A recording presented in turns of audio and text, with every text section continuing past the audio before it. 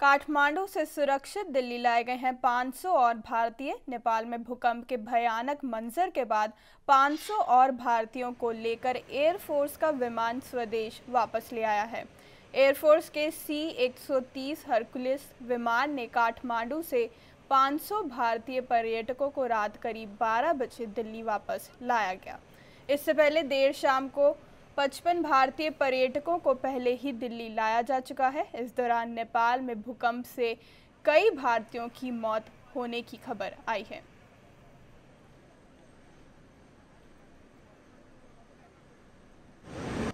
ते बहुत हराश हो रहे थे लोग ली। लेकिन सानू इंडियन एयरफोर्स ने सपोर्ट किया गवर्नमेंट ने इंडियन गवर्नमेंट ने सपोर्ट किया बहुत सारे लोग उतों हजारा ਹਜ਼ਾਰਾਂ ਦੀ ਕੁਆਂਟੀ ਹਜ਼ਾਰਾਂ ਦੀ ਗਿਣਤੀ ਦੇ ਵਿੱਚ ਲੋਕ ਨੇਪਾਲ ਤੋਂ ਆਪਣੇ ਇੰਡੀਆ ਪਹੁੰਚੇ ਨੇ ਤੇ and very very thankful to Indian government ਭਾਜੀ ਤੁਹਾਡਾ ਨਾਮ?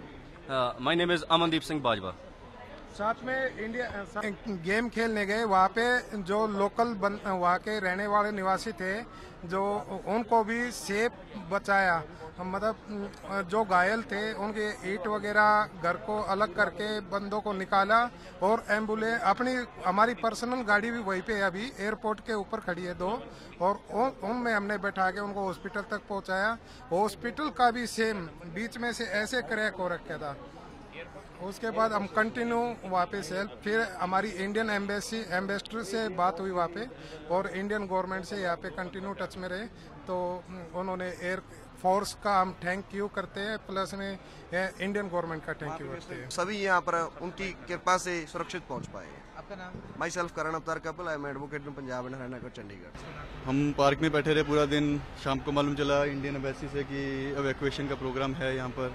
तो we went to Indian embassy by seven o'clock and by ten ten o'clock we were inside तो फिर हम यहाँ पर हैं अभी। थैंक्स टू भूकंप आया तो लगा कि धीरे से आएगा रुक जाएगा लेकिन एकदम बिल्डिंग यूँ पूरा हिलने लग गया। आपने होटल का वीडियो देखा होगा तो स्विमिंग पूल का सारा पानी उछल के बाहर आ गया था। पूरा पूल में क्रैक आ गया बिल्डिंग में सड़क सड़क धस गया है अंदर। बीच बीच में इतना इतना क्रैक आके सड़कें बंद हो गया उधर से। बहुत ज़्यादा खतरनाक जहाँ मतलब बार बार जो हो रहा है वो खतरनाक है। गलियों में जो हो रहा है वो खतरनाक है। मतलब होटलों के अंदर ना रहने का भी मन नहीं कर रहा। और बार बार झटके आ रहे हैं। खाने की क्या व्यवस्था है? क्या कोई व्यवस्था की क्या व्यवस्था है वहाँ? भारत सरकार का वो क्या बहुत अच्छा वो बहुत अच्छा है। जो भी हम लोगों ने जो प्रयास करा है जो ये जो जो फ़्लाइट का जो करा है तो बहुत बढ़िया है। बाकी वहाँ की तरफ़ से तो फ़िलहाल कुछ तकरीबन आपके कि जितने भी होटल्स हैं सब चेकआउट करके सड़कों पे बैठे हैं सबके हाथ में अपने बैग्स हैं। सबको सिर्फ़ यही है कि किसी तरीके से कोई उम्मीद आपको कहाँ लेके जाते किसी से पूछो ये चीज़ बंद है एयरपोर्ट है तो वो फुल है। किसी के पास कोई राय नहीं, कुछ नहीं पता कि कहाँ जाना है, क्या करना है। बहुत अच्छे हैं।